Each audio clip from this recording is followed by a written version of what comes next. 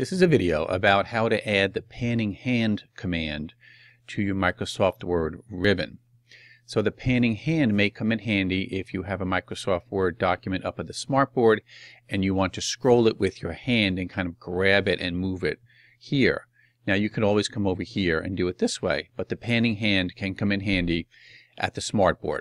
So the way to turn that on is to come up here to the Quick Access toolbar click on the little drop down menu and come down to more commands.